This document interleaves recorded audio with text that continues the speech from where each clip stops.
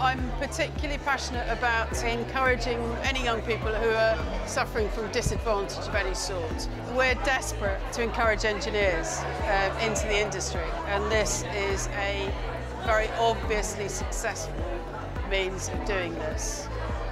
If we look at the digital skills that we've got that actually are right at the heart of engineering, we can see the people who are at ease with it, who don't have to learn it. Developing those people into your business is the key to making your business survive for the future.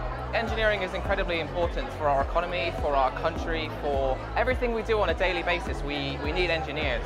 It's incredible how the perception of engineering isn't incredibly positive, you know, considering the impact it has on all of our lives. And I think we just need a reminder every so often of just how important it is. From the Engineers Trust point of view, what we represent is a whole, whole host of engineers who have had very successful engineering careers and actually want to give something back to the profession. So in all sorts of ways, be it either supporting the bursaries or being mentors for it, for example. And that's really why we're interested in it, because it actually gives us an opportunity as a, as a livery company to engage with our members who are all engineers and actually put something back into the profession that, that served them all very well.